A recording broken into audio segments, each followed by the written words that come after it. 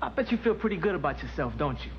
I mean, you come down here, do the right thing, and then you go home patting yourself on the back because you helped out the poor folk.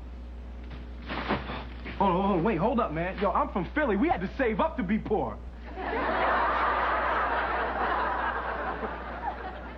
Why you sweat me like this, man? What's up? Cuz, you're just like all the rest of them. You come around here with the X-cap and them cool Doc Martens and you're all dope and word to your mother and you think that makes you committed. Me tell you something, this ain't no game. And if you think that it is, then maybe you should go home because you're not welcome here. Tell Dan Quayle I said what's up.